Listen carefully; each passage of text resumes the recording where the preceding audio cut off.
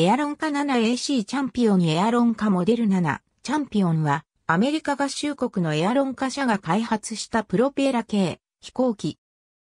レイ・ハーミースの手によって設計されたモデル 7AC チャンピオンは第二次世界大戦後に形式証明を取得した最初のアメリカ製系飛行機となった。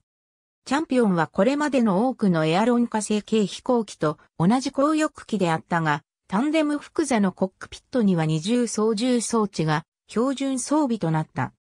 このシステムは全席でしか操縦できないパイパー株に対して販売上の大きな利点となった。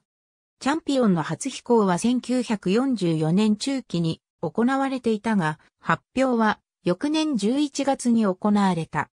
対戦終結直後から一大ブームとなった軽飛行機市場においてチャンピオンは大成功を収め、チャンプやエアノッカーの愛称で有名になっていった。また、アメリカ陸軍も連絡機として L-16 の名称で採用し、朝鮮戦争において前線任務に投入する一方、本土で練習機としても運用したが、大きな成功は得られずすぐにより、近代的な機種に置き換えている。L-16 は1952年に日本の保安隊にも訓練用として供与されており、事実上日本が終戦後初めて運用できた軍用機であった。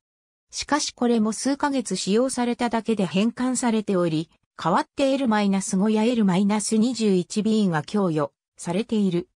総生産数は1万機以上とエアロン化、車史上最大の生産数を記録し、1950年に生産を終了した。その後チャンピオンエアクラフト社が製造権を購入したびたび再生産を行っていたが、現在はアメリカンチャンピオンエアクラフトコーポレーションによって生産が行われている。L-16AA アロンカ 7FC。ありがとうございます。